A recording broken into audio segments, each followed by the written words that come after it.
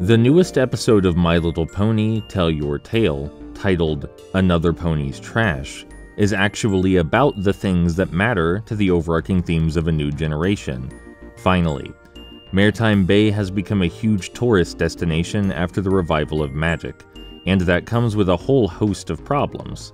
There's trash just absolutely everywhere, there's too much noise pollution, and no pony has any concept of basic social responsibility.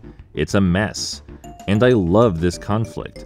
I love that it's a believable, natural consequence of the events of the film, I love that it requires genuine harmony and unity, and I particularly love that it isn't just solved with magic.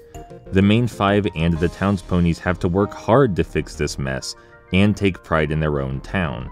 The kind of togetherness and teamwork that this generation is supposed to advocate, and they don't even treat Posey badly. It's a huge glow up, and may be the first episode of Tell Your Tale that genuinely tackles social welfare and the consequences of cross cultural integration. It's about time.